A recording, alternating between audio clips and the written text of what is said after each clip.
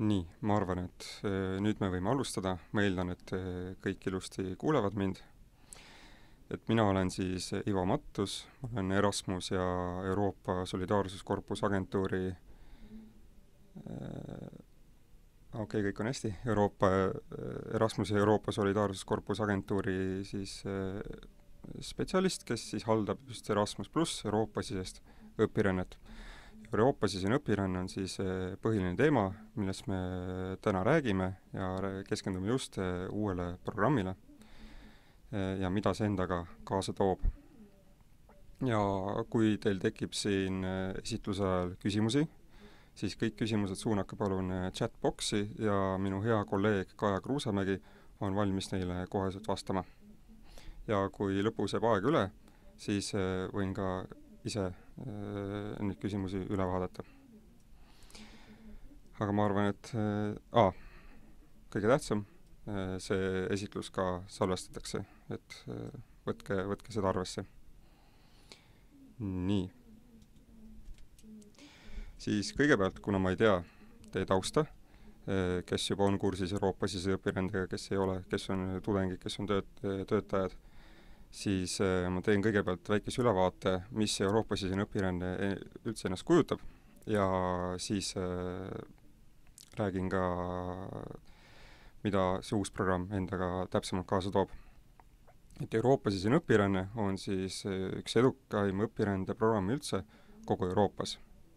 ja selle programmi eesmärgiks on avardada nii tudengite kui kõrgkooli töötajate silmaringi äh, ja siis anda neile võimalus võõras keskkonnas end arendada ja ka proovile panna.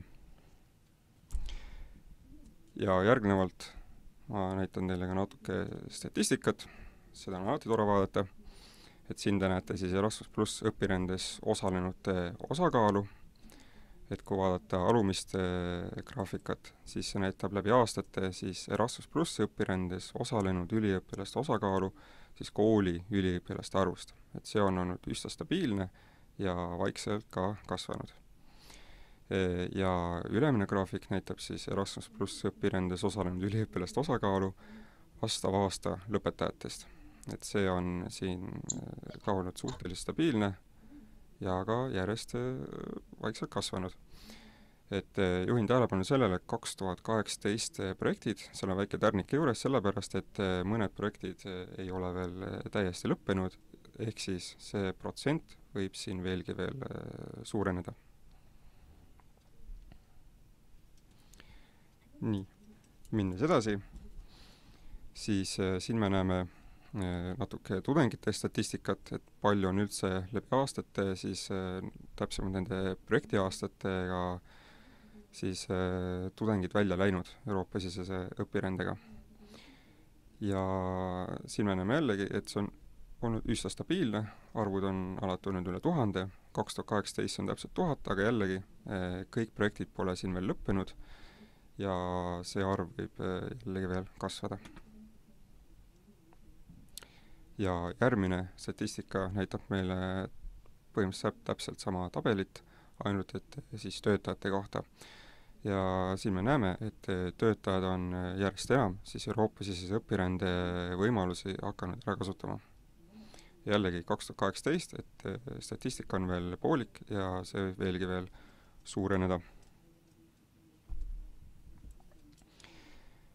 nii. aga kuhu üldse saab minna Euroopa-sisese õpirändega?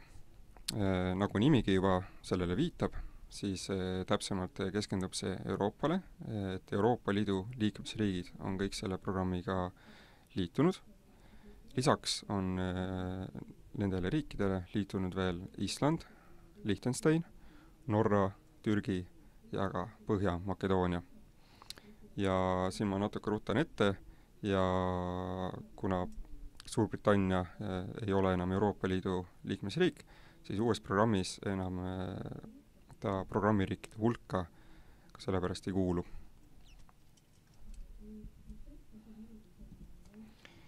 nii, ja siis üks põhiline variant, mida saab äh, ja mida on kasutatud siis äh, Euroopa-siseses õpirändes, on selleks, et tudengitele on antud võimalus minna õppima, eelnevalt mainitud riikide siis äh, need programmiriigid, nimetame neid kõiki programmiriikideks, siis tunnustatud kõrgkoolidesse.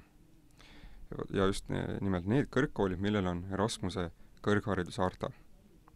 nüüd, kes ei ole kursis, võivad kindlasti mõelda, et mis asi on Erasmuse kõrghariduse harta, no lühidalt öeldes äh, siis see on üks dokument, kus on kirjas siis ühtsed reeglid ja põhimõtted, mis loob siis üldise kvaliteediraamistiku Euroopa ja rahvusvahelise koostöö tegevuseks, mida üks kõrgharidusasutus võib Erasmus pluss raames läbi viia. Ehk kui kõrgkoolil on kõnealune harta omistatud, siis on tal õigus ka Erasmus pluss õpirännetes osaleda.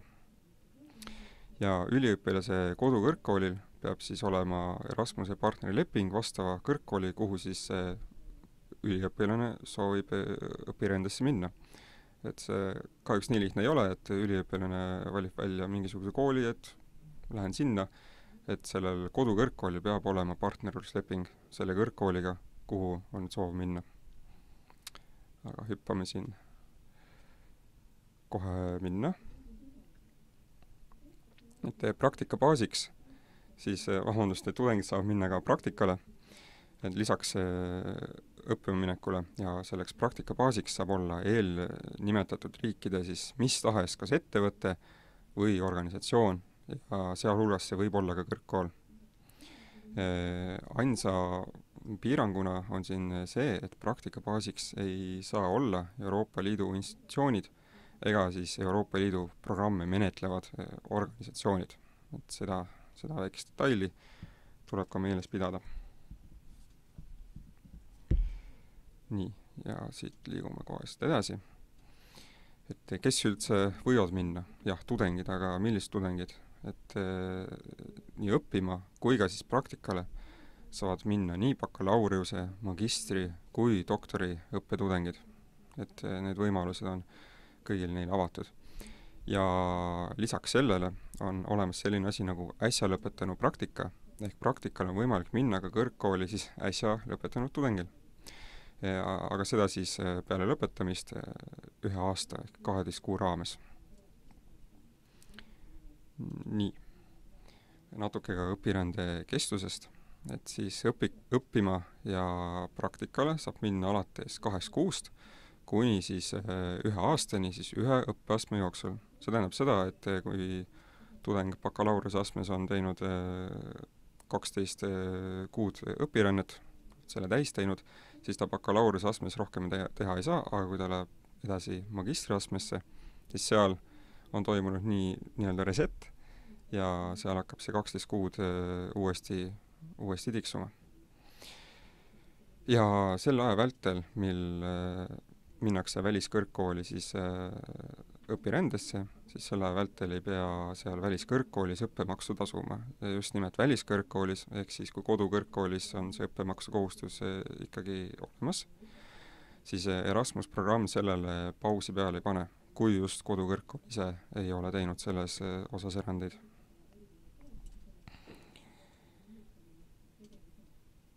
Nii, ja nüüd üks tähtsam osa on stipendium. Et äh, milliseid stipendiume tudengid saavad kasutada, et äh, tudengid saavad peamiselt elamiskulude katteks just äh, seda stip-, Erasmus pluss stipendiumi. Ja selle stipendiumi summa sõltub sihtriigist, õpirände liigist, ehk kas minnakse õppima või minnakse praktikale, ja ka õpirände kestusest.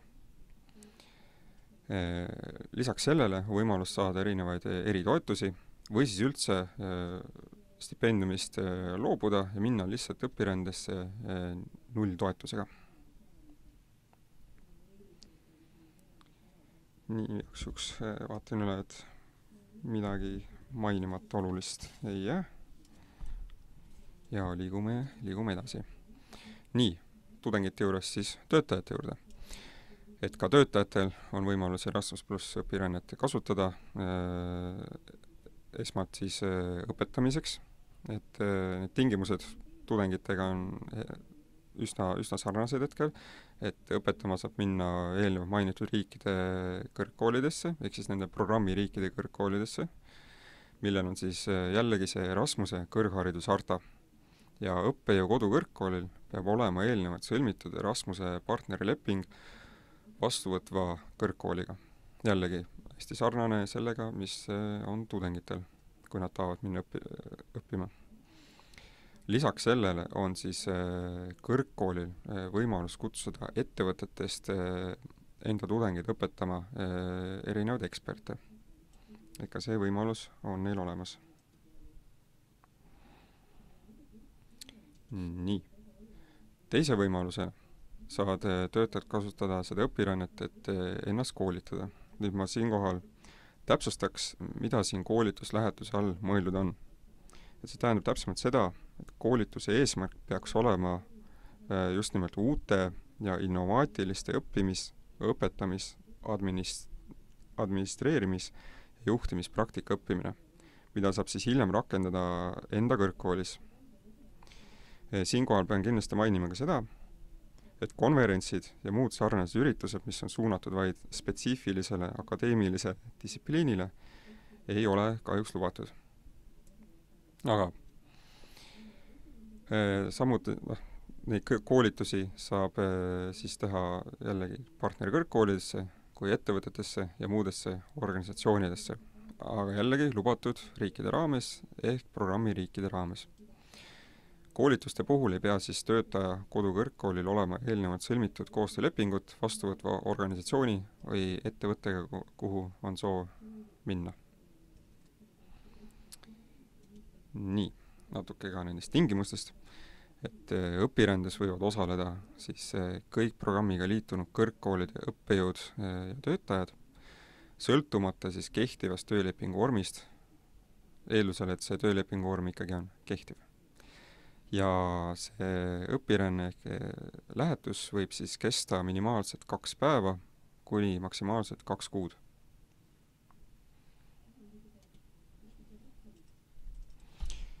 nii, natuke veel siis äh, tingimustest. et õpetamise puhul kehtib ka siis õppemahu äh, tingimus, õppetöö mahu tingimus, vabandust, ja see maht peab olema vähemalt kaheksa akadeemilist tundi. ja kui see õpiränne äh, töötajal kestab kauem kui üks nädal, siis nädalas pikemate lähetuste puhul on see siis kaheksa akadeemilist tundi nädalas ja nõue ei kehti koolituste ega sisse kutsutud ekspertide puhul. nii, ja jällegi räägime nüüd siis ühest tähtsamast osast ehk stipendiumist, et töötajatel samamoodi, eh, kuigi natuke erinev, et lisaks elamiskulude katteks saavad töötajad ka reisimise, reisimiskulude katteks eh, taotleda stipendiumi. Eh, siinkohal sõltub stipendiumi summa sihtriigist kui kaugel asub see sihtriik äh, lähtekohast ja õpirände kestusest. Ja lisaks sellele on võimalus saada eritoetust või minna õpirändesse siis äh, nulltoetusega. nii. ja nüüd jõudsimegi juba uue programmi juurde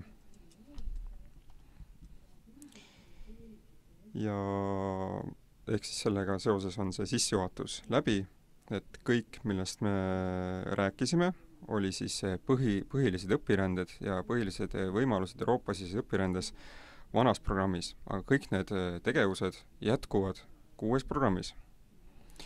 Kui ma ütleks paar võtmesõna uuele programmile, siis need oleks suuremad toetused ja paindlikumad õpirände kestused. aga uus programm ei tähenda nüüd seda, et vana programm on nüüd järsku saanud läbi. et seda, seda see ei tähenda, et äh, vana programmi projektid kaks tuhat kaheksateist on küll kohe-kohe lõppemas, aga kaks tuhat üheksateist ja kaks tuhat kakskümmend projektid võivad maksimaalselt veel äh, kesta kuni kahe tuhande kahekümne kolmanda aastani. see tähendab seda, et kui minna vanast projektist, siis uue, uue programmi tingimused äh, neile ei kehti nii, aga räägime siis räägime suurtest arvudest, et kogu programmi eelarve on kakskümmend kuus miljardit eurot, millele lisandub juurde veel kaks miljardit eurot välisvahenditest ja ei, see, see raha ei tule ainult Eestisse, vaid see on siis kogu programmi eelarve. nii. nii, ma korraks vahetan siin nii märkmeid. uuel programmil on paigas siis neli põhifookust, sellist fookuspunkti, millest on uus programm ka väga tugevalt mõjutatud. Need fookuspunktid on siis kaasamine, digipööre, rohepööre ja osalus demokraatlikus elus. Räägime korraks ka lähemalt, mida need täpsemalt tähendavad, et siis kaasamise all mõeldakse seda, et peab austama siis kaasamise ja mitmekesisuse põhimõtet ja peab tagama kõigile õpirändes osalejatele õiglased ja võrdsed tingimused. ja võimaluse korral peaks aktiivselt kaasama õpirändesse vähemate võimalustega osalejaid ja kasutama selleks maksimaalselt programmis ette nähtud rahalisi ja ka muid vahendeid. nüüd digipöörde all mõeldakse seda, et peaks kasutama digitaalseid vahendeid ja õppemeetodeid, et täiendada füüsilist õpirännet ja parandada koostööd. ja selleks kõigeks tuleb kasutada programmi poolt pakutavaid digitaalseid tööriistu, veebiplatvorme ja muid võimalusi selleks, et tagada õpirännete ja partnerlussuhete digitaalne haldamine. sellest, selle juurde tuleme hiljem ka tagasi veel. nüüd rohepööre. Selle all mõeldakse seda, et peab esi-, edendama oma osalejate seas siis keskkonnasäästlikku ja keskkonna suhtes vastu-, vastutustundlikku käitumist, eelistada siis õpirände korraldamisel säästlikke reisimisviise, kasutades selleks maksimaalselt programmis ette nähtud rahalisi vahendeid. ja ka sellest, selle juurde tulen ma hiljem varsti tagasi. Osalus demokraatlikus elus, väga lühidalt tähendab see fookuspunkt seda, et keskendutakse siis teadlikkuse tõstmisele ja mõistli-, mõistmisele Euroopa Liidu kontekstis, eriti mis puudutab siis ühiseid väärtusi, ühtsuse ja mitmekesisuse põhimõtteid ja nende sotsiaalset, kultuurilist ja ajaloolist pärandit. nii aga räägime ka, räägime konkreetsest asjast. et äh, kui vanas programmis me saime jagada need tegevused põhimõtteliselt kaheks, meil on õpiränded tudengitele meil on nüüd õpiränded õppejõududele, siis uues programmis sisuliselt see ei ole muutunud, meil on äh, endiselt, meil on õpiränded tudengitele ja meil on õppe, õpiränded õppejõududele ja ka töötajatele nii. Äh, ja taaskord, nagu sissejuhatuses, alustame siis äh, tudengitest. et äh, see varasem nii-öelda tavalised, tavaline õppima minek, õpirändega ja praktikasse minek on nüüd pikaajaline õpiränne. ja see sisuliselt ei ole väga palju muutunud, paar väikest detaili, millest me ka pärast räägime, aga see võimalus on kõigil alles nüüd on juurde tulnud kolm täiesti uut tegevust ja need on siis kõik lühiajalised õpiränded. on põimitud õpiränne õppimiseks või praktikaks, on loodud doktorantide lühiajaline õpiränne ja viimaks põimitud intensiivkursused ja nendest kõigest kohe ka lähemalt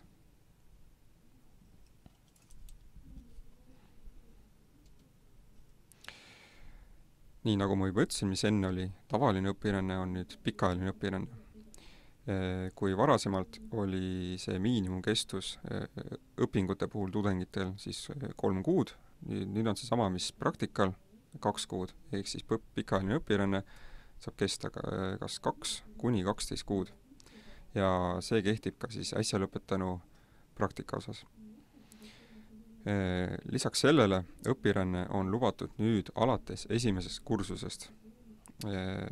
Äh, miks ma selle olen siin välja toonud, sellepärast et vanas programmis on reegel, et äh, õppima minna väliskõrgkooli saab tudeng alates teisest kursusest. nüüd uues programmis seda piirangut enam ei ole. nii, ja nüüd lähmegi uue tegevuse juurde, milleks on siis põimitud õpiränne et eh, kui tudengil ei ole võimalus nii pikalt eemal olla, isegi kui me räägime ainult kahest kuust, siis eh, tema jaoks ongi mõeldud just see õp-, põimitud õpiränne, selle füüsiline osa kestab minimaalselt viis ja maksimaalselt kolmkümmend päeva ja sellele peab lisanduma juurde ka siis virtuaalne osa, mida võib teha siis oma koduriigist. ja sellel virtuaalsel osal kestvusnõuet ei ole. lisaks sellele lisandub siin põimitud õpirändele juurde vähemalt kolme EAP nõue, ehk siis minimaalselt kolm EAP, EAP-d peab tudeng sealt siis tagasi tooma.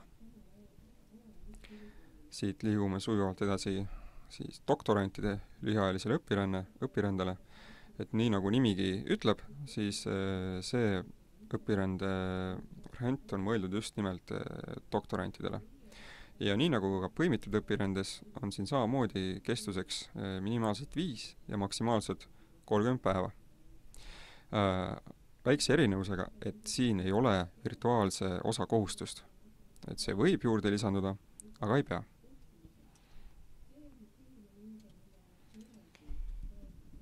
nii, viimase ja võib-olla ka kohati keerulisema äh, uue võimalusena tutvustan teile põimitud intensiivkursused. et mis need täpsemalt on? et see, siin äh, peavad osalema siis vähemalt kolm kõrgkooli, vähemalt kolmest siis erinevast programmiriigist äh,. Nendes peab osalema minimaalselt viisteist kuni kakskümmend osalejat millele lisandub veel juurde enda kooli osalejad. see grupp võib olla suurem, aga toetatakse mainitud suurusega gruppi. lisaks sellele lisanduvad kursust läbi viivad õppejõud eh, ja või koolitajad. nüüd sarnaselt põimitud õpirändele on ka siin füüsilise osa kestus minimaalselt viis kuni maksimaalselt kolmkümmend päeva. ja nagu põimitud õpirändel, lisandub ka siin juurde kohustuslik virtuaalne osa nagu te olete arvatavasti juba aru saanud, see on siis grupitöö ja mitte individuaalne õpe. ja ka siin on siis mahunõue vähemalt äh, kolm EAP-d, mis tuleb siis äh, täita ja tagasi tuua. nii, kontrollin, et mul midagi, sain kõik sellest ära räägitud, väga hea. nüüd te kindlasti tahate kuulda uutest toetustest, aga selle juurde ma veel ei lähe vaid kõigepealt räägime ära ka, mis uued võimalused on äh, uues programmis töötajatele. et siin säilib samamoodi füüsiline õpiränne õppejõududele, töötajatele, et siis saab minna õppima või koolituma ja samamoodi säilib võimalus siis kõrgkoolil kutsuda eh, siis eksperte ettevõtetest õpetama. nüüd nendel kahel võimalusel ei ole mitte midagi muutunud uues programmis sisuliselt ja need on säilinud nii, nagu nad olid vanas programmis.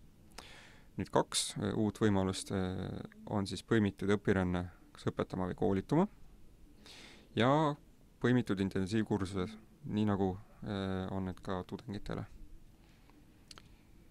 nüüd õppejõud, töötajad võivad siis õpirände sooritada samamoodi ka põimitud õpirändena, millele lisandub juurde siis kohustuslik virtuaalne komponent. Äh, ainsa vahena, et ka siin on siis, kehtib kaheksa tunni nõue nii füüsilise kui virtuaalse õpirände puhul, ehk siis see kaheksa tundi peab olema õppetöö mahtu, mis tuleb täita. nii nagu ka füüsilise nii-öelda pikaajalise tavalise õpirände puhul. nii ja ka intensiiv, intensiivkursused käivad ka õppejõudude kohta, põimitud intensiivkursused, et siin on äh, tingimused äh, praegu täpselt samad, mis äh, tudengitega, vähemalt äh, kolm kõrgkooli, kolmest erinevast programmiriigist, saab olla viisteist kuni kakskümmend äh, osalejat. Ja sellele lisandub juurde enda kooli osalejad, grupp saab olla taaskord suurem ent toetatakse vaid mainitud suurusega gruppi ja lisanduvad juurde siis kursust läbi viivad õppejõud, koolitajad.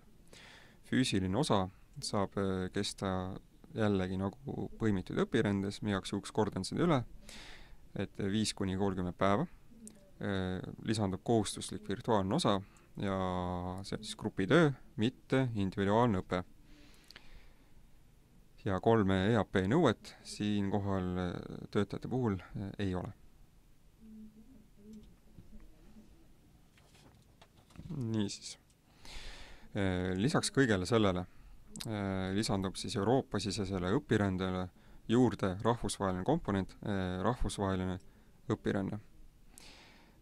Nüüd selle kindlasti ei tohi ajada sassi sellise tegevusega Erasmus plussis, nagu seda on üleilmne õpiränne, mis on samuti väga, väga sarnane tegevus Euroopa-sisese õpirändega. aga see rahvusvaheline õpiränne nüüd Euroopa-siseses õpirändes tuleb siis sellele lisaks veel e,. Nagu nimigi ütleb, see tähendab seda, et saab rännata programmi riikidest ehk peamiselt Euroopast siis e, väljapoole maailma ja kaks tuhat kakskümmend üks äh, projektist äh, on see mõeldud vaid äh, selleks, et tudengid ja töötajad saaksid minna just suunaga välja. nii. ja nüüd jõudsime nii-öelda selle digipöörde elemendini, et hiljuti, eks selle aasta alguses Äh, tuli välja täiesti uhiuus Erasmus äh, pluss äpp.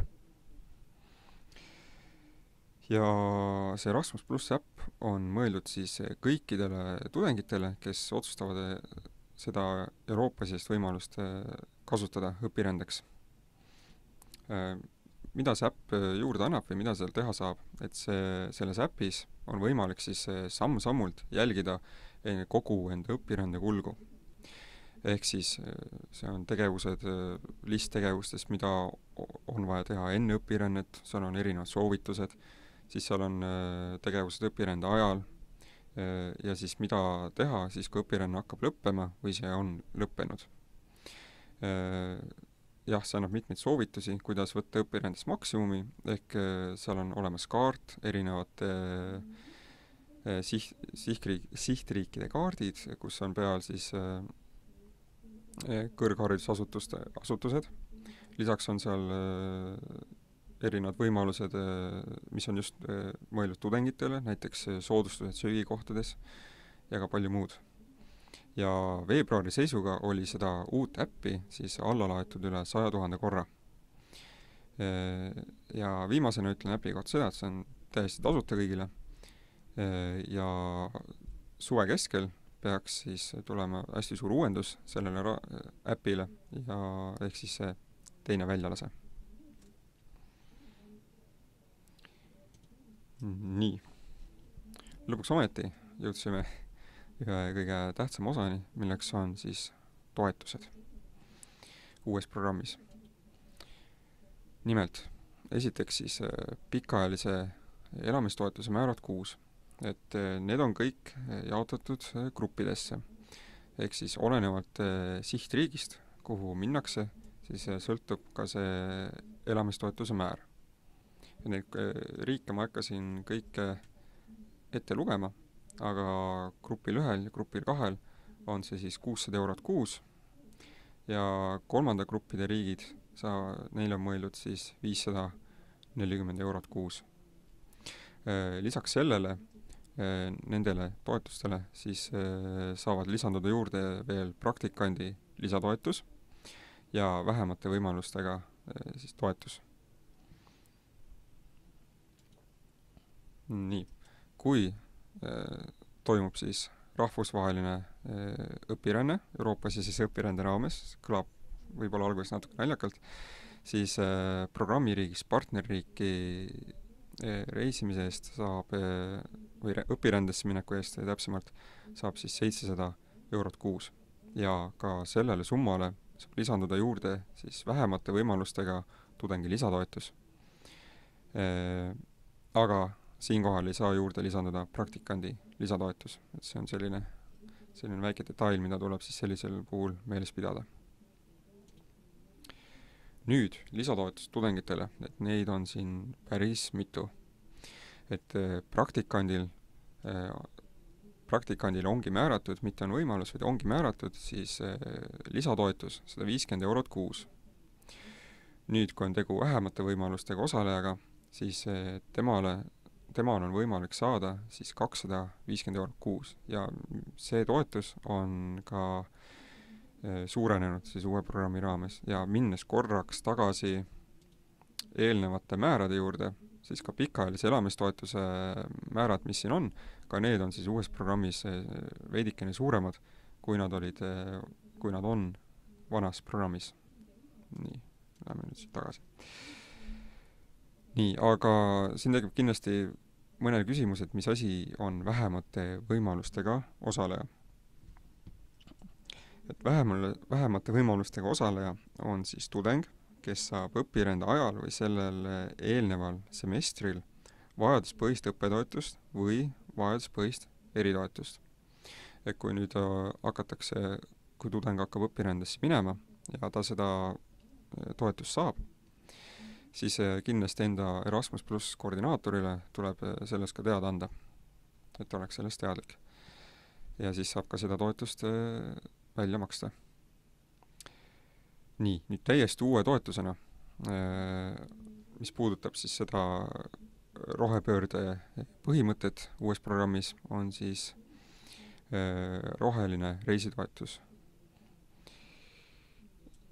nii, üks moment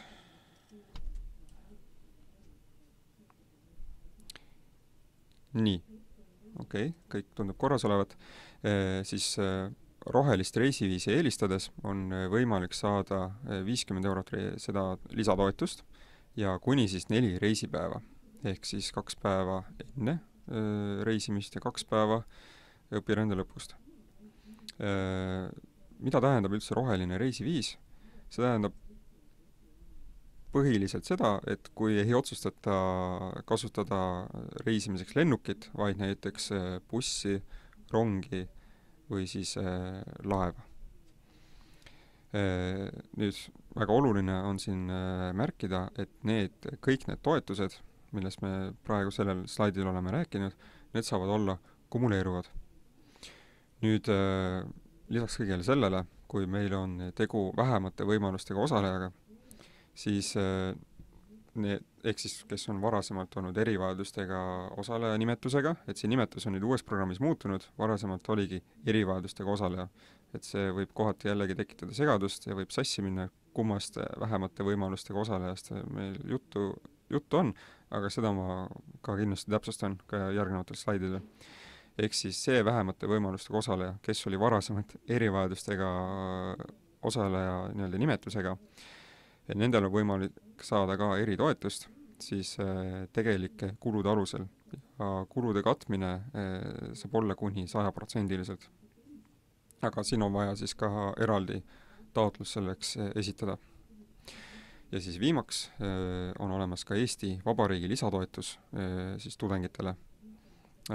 siin kindlat määra ma välja tuua ei saa sellepärast et see on iga kõrgkooli otsustada, kui palju ja mis alustel seda välja makstakse. nüüd, minnes äh, edasi nende uute lühiajaliste õpirännetega, ehk siis kas doktorantide lühiajaline õpiränne või põimitud õpiränne, siis äh, need elamistoetused esimesel kuni neljateistkümnendal päeval, selle alusel makstakse välja seitsekümmend eurot päev ja kui see lühiajaline õpiränne läheb pikemaks, on viisteist kuni kolmkümmend päev, siis sealt edasi on see viiskümmend eurot päev. Vajadusel, vajadusel siis lisanduvad juurde kaks reisipäeva, üks päev siis enne reisi ja üks päev pärast, või enne õpirännet, vabandust, siis individuaalse toetuse osast on need siis määratud. Ja vähemate võimalustega osalejatele on samuti määratud Äh, lisatoetus. äh, ja see vähemate võimalustega osaleja on just see, kes saab siis õpirände ajal äh, vajaduspõhist õppetoetust. siis viie kuni neljateistpäevase õpirände eest on võimalik saada sada eurot lisatoetust ja viieteist kuni kolmekümne päevase õpirände eest sada viiskümmend eurot lisatoetust. nii. korraks vaatan, et midagi ei jääks mainimata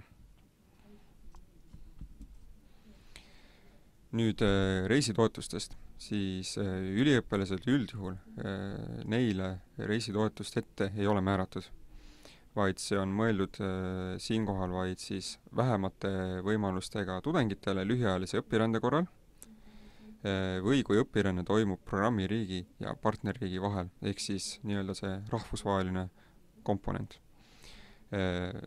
Mida siin jälle vähemate võimalustega tudengite puhul on mõeldud, on mõeldud just jällegi seda, et kes saab siis vajaduspõhist õppetoetust. nüüd, vahemaa selleks reisitoetuse arvestamiseks arvutatakse välja kasutades Euroopa Komisjoni ametlikku vahemaade kalkulaatorit see näeb siis selline välja, et äh, siia ma pole linki pannud, äh, sest selle kiiresti guugeldades leiab äh, minutiga kergesti ülesse. Et kui te leiate sellise, sellise kaardi, sellise disainiga, siis arvatavasti olete jõudnud õigesse kohta. ja linnulennult käib siis vahemaa arvestus. siis minnes korraks tagasi siis kui eelistatakse eh, rohelist reisiviisi, on üliõpilaste puhul, siis jällegi on võimalik saada siinkohal lisaks neli reisipäeva, ehk siis kaks päeva reisimiseks enne õpirännet ja kaks päeva reisimiseks peale õpirännet.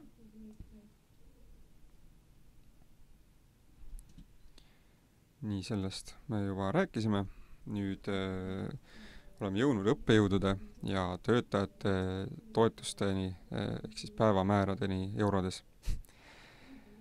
et siis eh, jällegi siin on jagatud riigid kolme gruppi, umbes nagu tudengite, tudengite raames oli grupp üks, grupp kaks, grupp, grupp kolm, siin on siis grupp A, grupp B, grupp C, et kui see õpiränne kestab äh, kuni neliteist päeva, siis on äh, võimalus saada kas siis olenevalt riigist kaheksakümmend kuni sada kaheksakümmend eurot, seitsekümmend kuni sada kuuskümmend või kuuskümmend kuni sada nelikümmend eurot. Et äh, miks selline vahemik on siia pandud, sellepärast et kõrgkoolil on võimalik, võimalik endal otsustada, kui suure ta sellest määrast välja maksab. ja kui meil on kestus viisteist kuni kuuskümmend päeva, siis siin on ka siin on ka see toetuse määr natuke erinev. ja seal lõpus on äh, gruppide all veel partnerriik, ehk siis see tähendab seda, et rännatakse programmiriikidest väljapoole, partnerriikidesse, ehk siis see rahvusvaheline komponent jälle, mida on võimalik siis uues programmis teha, et siin on siis, äh, kui õpiränne kestab neliteist päeva, siis äh, makstakse sada kaheksakümmend eurot ja kui see kestab viisteist kuni kuuskümmend päeva, siis sada kakskümmend kuus eurot. nii. Liikudes edasi siis õppejõudude ja töötajate reisitoetusteni, siis see vahemaa äh, arvutatakse välja taaskord kasutades Euroopa Komisjoni vahemaade kalkulaatorit, mida ma eelnevalt just teile ka näitasin. Ja roh-, siin ka rohelist reisiviisi siis eelistades, jällegi, mis oli roheline reisiviis, ehk siis lennuki asemel kasutatakse näiteks bussi, laeva või rongi, siis neid kasutades võib lisaks saada siis veel neli reisipäeva. kaks päeva enne õpirännet reisimiseks ja kaks päeva peale õpirännet reisimiseks.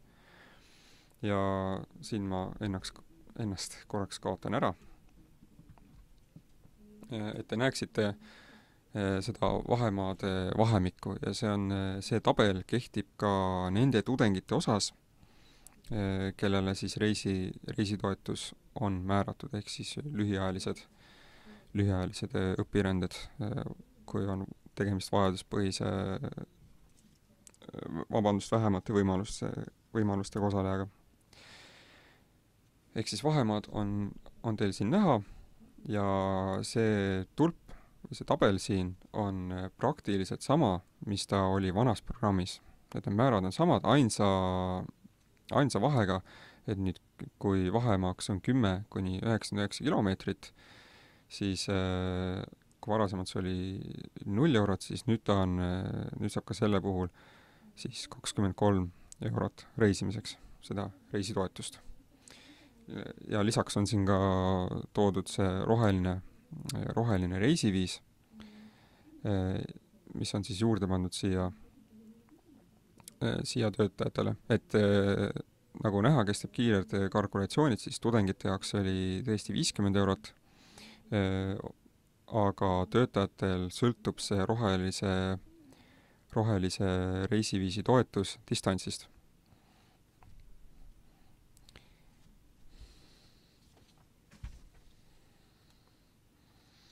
Nii, minnes siit siis sujuvalt edasi. Nii, sellega minu Euroopa-sisese õpirände osa tegelikult ka lõpeb.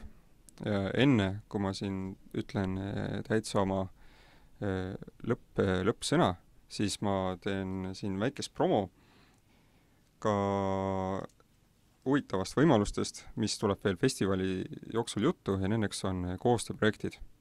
ma kiirelt seda teile mainin, et koostööprojektid on siis eh, toetavad osalevate organisatsioonide põhitegevuse kvaliteedi parandamist, uuenduslike lahenduste väljatöötamist ja rakendamist. ja nendes projektides vahetatakse siis kogemusi, luuakse käegakatsutavaid tulemusi ja tegeletakse nende levitamisega Eh, koostööprojektides osalevad vähemalt kolm organisatsiooni kolmest eri riigist ja koostööprojektide kestuseks saab olla kaksteist kuni kolmkümmend kuus kuud. Toetust on võimalik nendeks projektideks taotleda nii projektitöö korraldamise, tulemuste loomise, õppimis- ja õpetamistegevuste levitamise vähemate võimalustega osalejate kaasamiseks. Eh, taotluse tähtaeg on eh, kahekümnendal mail, infot leiab sellest, sellest lingist erasmusplus.ee eh, kaldkriips projekti tegijale kaldkriips koostööprojektid ja kui te tahate rohkem nende koostööprojektide eest eh, kuulda, informatsiooni saada, siis osalege kindlasti festivali eh, tänases töötoas koostööprojektid haridusvaldkonnas, mis algab kolm läbi ja kümme minutit.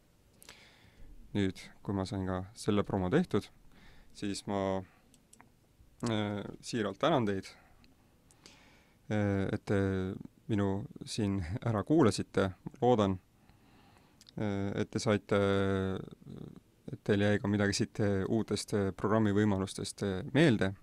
kui teil edaspidi peale seda nüüd esitlust tekib veel küsimusi Euroopa-sisese õpirände kohta, vahet pole, kas see käib vana programmi või uue programmi kohta, siis kindlasti võtke ühendust enda Erasmus pluss koordinaatoriga enda kõrgkoolis ja asi, mida ma muidugi oleks pidanud kohe alguses äh, kõigile ütlema, et enamus äh, Eesti kõrgkoolides, Eesti kõrgkoolid on siis selle programmiga ka liitunud.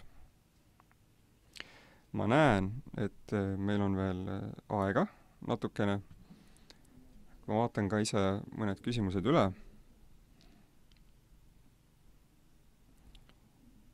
Et kas mu hea kolleeg Kaja on, äh, on kõigile saanud vastata või saan ka ise veel mõnda küsimust kõnetada?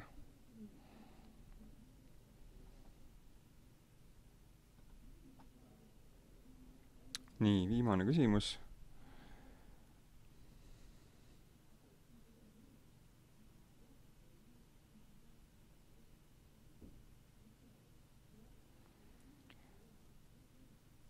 nii, palun näidet töötajatele suunatud intensiivkursuste kohta, milliste osalejate ja eest toetust eraldatakse ja kui palju? kas näiteks kutsume, siin on toodud näitena Tallinna Ülikooli koolitama kahe erineva välisorganisatsiooni töötajad, saame iga koolitaja pealt toetust. kas ka meie koolitaja saab toetust, et ma siin, siin kin-, kindlasti võtan ette eelne-, eelneva slaidi, kus oli kus oli see intensiivkursused äh, nii, töötajad, siin ma läksin mööda.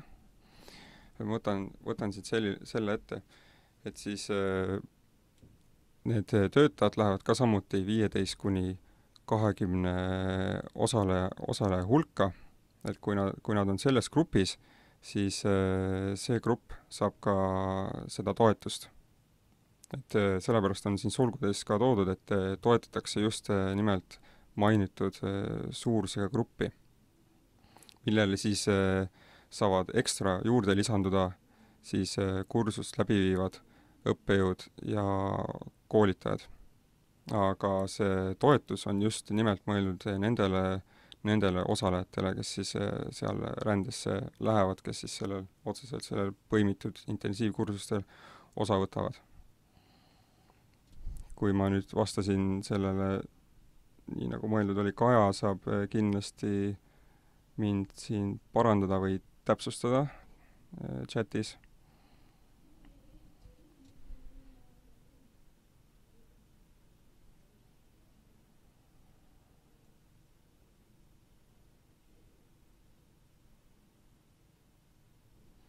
Nüüd on tulnud äh, küsimus äh, bakalaureuse tudengi kohta. et kui bakalaureustudeng võib minna juba alates esimesest kursusest Erasmusesse, kas ta võib minna kohe, isegi veel enne, kui ta koduülikoolis üldse õppimist alustab või alates teisest semestrist? et äh, jah, esimesel semestril saab, saab, saab taotleda et siis see, see on ka, et siin peab kindlasti ka meelde jätma seda, et et see semestrite vahe ongi, ongi siis selle uue programmi ja vana, vana programmis on see erinev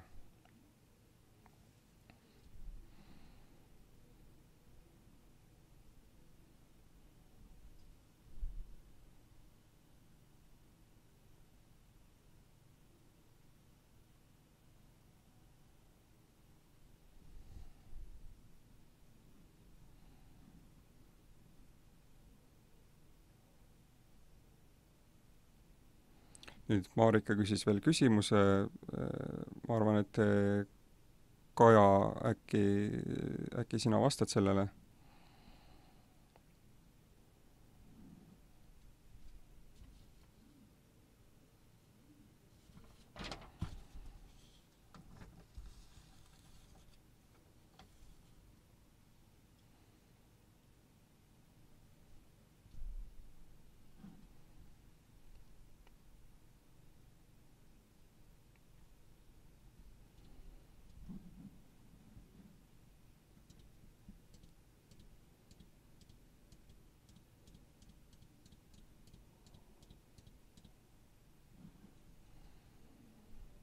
nii, ma näen, et rohkem hetkel küsimusi äh, vähemalt äh, chatbox'i ei tule.